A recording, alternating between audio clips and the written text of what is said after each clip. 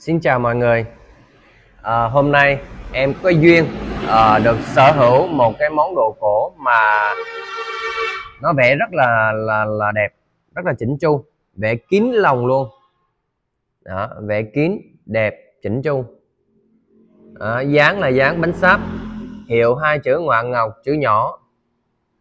Đấy, đồ ngoạn ngọc chữ nhỏ thì đa phần là người ta vẽ kỹ vẽ kín mà đồ chắc đồ nó già Đấy đây là một trong những cái món đồ cổ vẽ tích thiên hạ thái bình. Và cái điện tích này nó là một trong những cái món đồ cổ mà à, chắc là mọi người cũng rất là thích về cái đề tài sơn thủy kể cả bản thân em cũng vậy. Bởi vì khi mà chơi đồ cổ siêu tầm á, thì chúng ta gặp những cái món đồ mà à, nó nó đẹp vẽ chỉnh chu. Đó. đây là cái cảnh à, vẽ thiên hạ thái bình. Có có nghĩa là cái cảnh sống à, trên à, ở đây là những người mà chài lưới này à, sống ngày chài lưới này và đi thông dong đi chơi. Đó thông dong đi chơi. Đó và tìm có nghĩa là là là, là đi cùng bạn bè đi chơi thông dong với nhau. Cảnh sống nó rất là nhẹ nhàng mà nó rất là là là là, là uh, rất là bình an như vậy. Thì cái người xưa người ta mới vẽ nên một cái khung cảnh sống yên bình. À, nó nhẹ nhàng mà nó thanh thản như vậy để mà miêu tả và muốn uh, cuộc sống uh, hiện thực và cho tương lai nó nó nó thanh bình nó yên ả hơn. Đó. Đây là một trong những cái bản dầm mà vẽ tích uh, thiên hạ thái bình đẹp chất lượng và vẽ rất là phiêu. Đó, từng ngọn cây ngọn cỏ này chúng ta thấy nếu như mà vẽ thông thường thôi á, thì người ta vẽ quệt quạt vẽ cho có thôi. Còn đây là vẽ cái nét họa vẽ rất là kỹ rất là kín này đó, vẽ rất là kỹ rất là kín. Đấy, chàm qua mấy trăm năm chàm rất rất là đậm rất là sâu đồ. Đó. đây là một trong những cái điện tích mà nó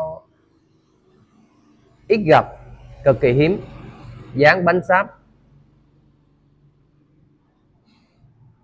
Đây là cái vành chôn này. Đây là cái vành chôn cổ xịn nha mọi người.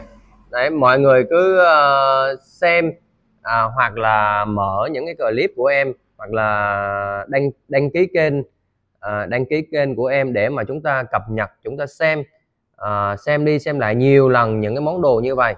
Thì chúng ta sau này chúng ta mới có một cái cái nhận định về những món đồ giả những món đồ thật nó có điểm khác nhau như thế nào. Đó những cái cái cái vành chôn uh, cổ xịn này. Đấy. nó phải mảnh mai thanh mảnh cắt gọt này. Cắt gọt rất là chỉnh chu như thế này. Và đây là những cái vết ố đây là vết ố thời gian. Vết ố đây là vết ố thời gian. Hiệu hai chữ ngoằn ngọc chữ nhỏ rất là chỉnh chu. Đấy họa tiết này cây tre nhành liễu rồi vẽ rất là là là chuẩn mực luôn. Vẽ rất là là giá trị. Nói mà để ờ, tìm ra được những cái ờ, cái lỗi vẽ xấu ở trên này thì chắc em nghĩ chắc không có luôn. Bởi vì cái người thợ người ta ngày ngày xưa vào triều đại nhà thanh người ta làm ký kiểu cho triều nguyễn chúng ta à, người ta vẽ cực kỳ kỹ. Bởi vì cái uh, những món đồ này nó luôn luôn dành nhận cho những cái người có cấp bậc cao trong xã hội phong kiến ngày xưa. Đó bởi vì những cái ông quan uh, quan lớn ngày xưa thì ông mới có sở hữu được những cái đồ trà cổ những cái ờ, đồ sứ mà vẽ xuất sắc như thế này.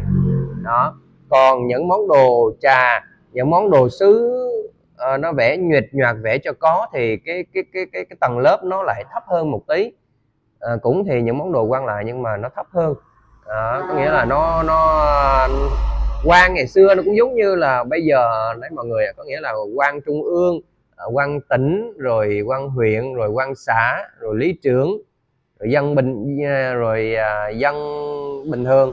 Đó thì mỗi một phân cấp như vậy nó đều có những cái cái cái cái, cái, cái nét đẹp về chất lượng nét cái giá trị về món đồ nó khác nhau, tầng lớp nó đều khác nhau rõ ràng rõ ràng và hoàn toàn luôn. Đấy. Và đây là một món đồ cổ xịn này. Vẽ kỹ, vẽ tuyệt vời luôn. Đó, và bác nào mà yêu thích những cái món đồ cổ như thế này thì liên hệ kết nối với em để mà em bảo hành chuẩn cổ suốt đời cho mọi người bởi vì là trên hiện nay có vô số, vô vàng những món đồ giả cổ, người ta chép lại nguyên văn.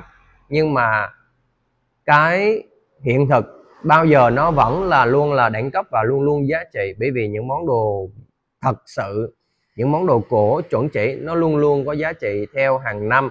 Nó sẽ à, bởi vì giống như là bất động sản, đất đai vậy, chỉ có mất đi thôi, chứ không bao giờ mà sản sinh ra được nhiều nên chính vì thế thì những món đồ giả có chép lại đi chăng nữa.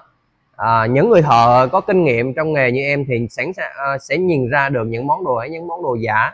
Còn những người mà mới chơi à, đến với bộ môn này thì à, có thể là à, có thể bị lăn tăn à, về những cái cái món đồ giả và thật nó khác nhau như thế nào ra sao thì khó mà nhận biết được.